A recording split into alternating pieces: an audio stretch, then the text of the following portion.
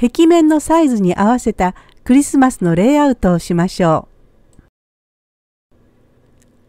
ポインセチアのクリスマスツリーの部分だけを切り取って使います。それを壁面のサイズに合わせて雪景色と少し重なるように飾ります。金色のテープで星の輝きもつけましょう。ツリーの背景を切り取った部分も使えるところがあればこんな風に使います。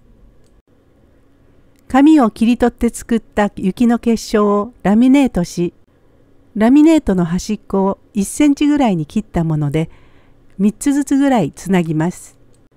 これをプッシュピンで壁から浮くように貼るとゆらゆらと雪の結晶が揺れます。